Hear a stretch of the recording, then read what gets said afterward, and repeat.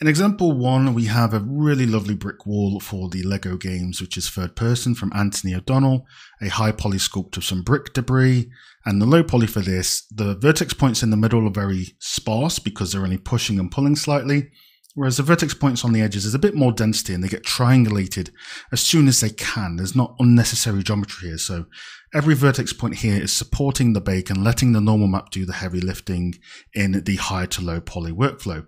This again is very context heavy as we go through the next few examples. So again, a good example here by Anthony, uh, very good optimization and one to be looked at as an example. So uh, another prop by uh, Overturn Studios, uh, another outsourcing studio. Great texture read and everything like that. Good bake. We look at the wireframe. This, it, again, it's really well optimized. Uh, the flat surfaces are triangulated down into the corners.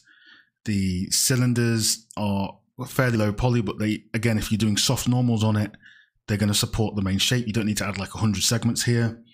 Topology has been used to support the high poly bake of where the sculpt has been chipped in, like this damage here.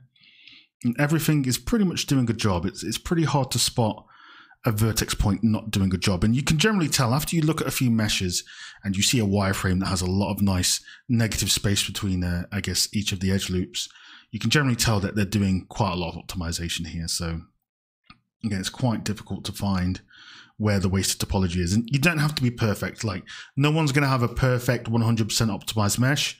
But if you make an active effort into making every vertex do a job, you are going to have a very nice optimized mesh overall. So really great asset here. Uh, one of my personally one of my favorites of where topology is being used.